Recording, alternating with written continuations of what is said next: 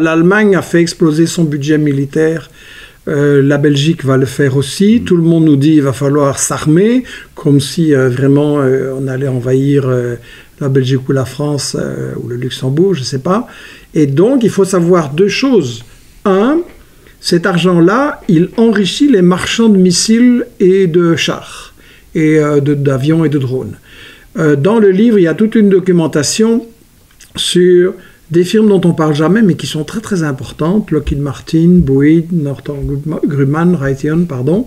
Et ces firmes-là se font un argent énorme avec ces commandes, parce que justement, c'est le propre des armements. Si vous voulez faire des profits, il faut que vos armes, on les emploie. En plus, la guerre, c'est une bonne démonstration, c'est une démonstration promo pour dire, regardez comme nos, euh, nos armes sont efficaces, comme elles tuent bien.